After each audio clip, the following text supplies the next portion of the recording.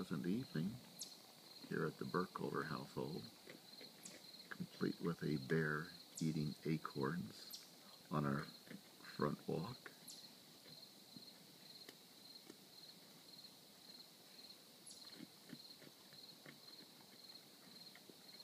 He's having a grand time with the pile of acorns that Jill raked up just earlier.